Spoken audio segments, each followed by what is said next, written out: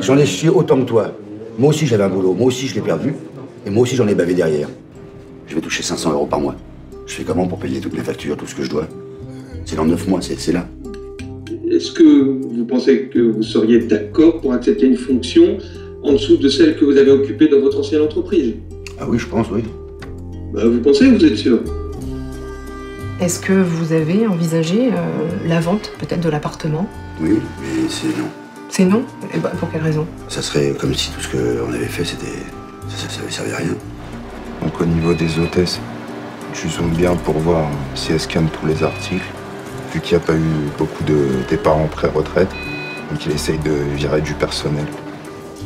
Chacun choisit ce qu'il veut faire. Moi, je pense que pour ma santé mentale, je préfère tirer un trait, passer à autre chose. Est-ce que ça fait de moi un lâche? Bon, qu'est-ce qui se passe?